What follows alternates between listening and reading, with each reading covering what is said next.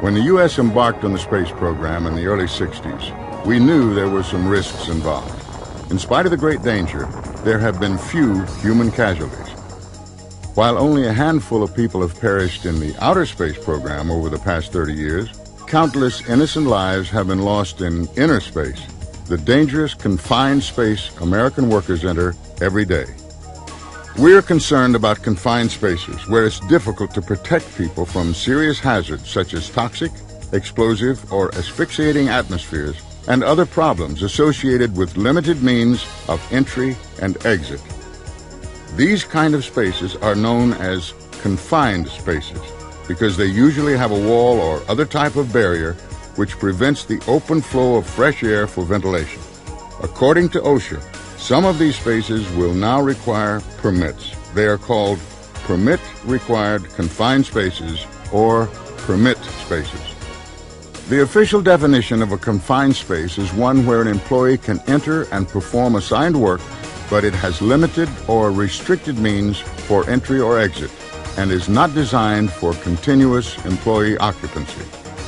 A permit-required confined space may contain or potentially contain an hazardous atmosphere, material that could engulf an entrant, hazards such as a configuration with a tapering floor that could trap or asphyxiate an entrant, or other serious safety or health hazards. Some common types of confined spaces include tanks, vessels, silos, storage bins, hoppers, vaults, and pits.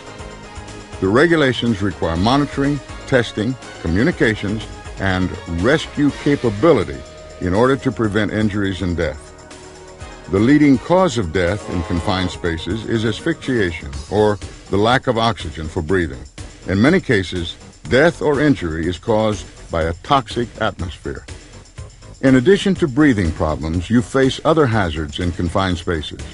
Often, employees must work in cramped areas right next to moving parts of machinery such as mixers.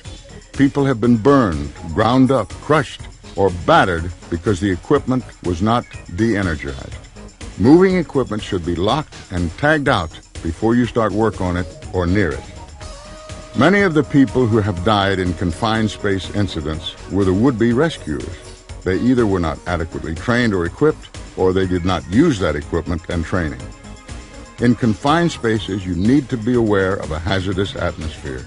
That can mean an atmosphere where you could be exposed to the risk of death, incapacitation, or where you might not be able to escape on your own. Hazardous atmospheres include flammable gas, vapor, or mist in excess of 10% of its lower flammable limit. Airborne combustible dust that obscures vision at a distance of 5 feet or less oxygen content below 19.5%, which could lead to asphyxiation, or oxygen level over 23.5%, which could create flammability problems.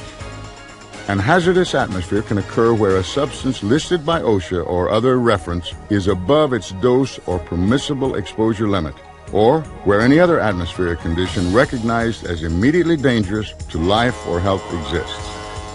Your employer needs to determine if any spaces are permit required confined spaces.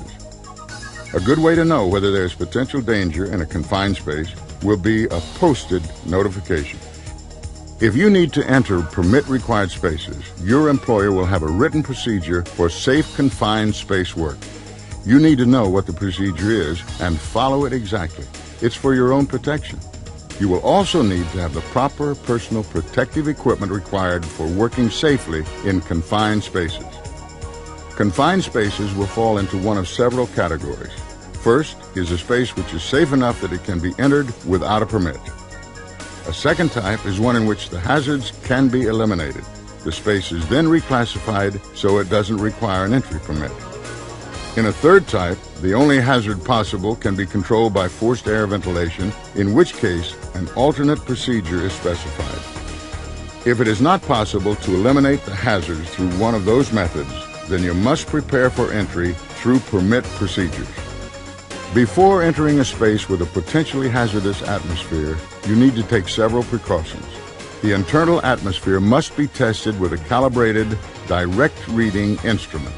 You need to check for each of the following in order the oxygen content, flammable gases and vapors, and finally, potential toxic air contaminants.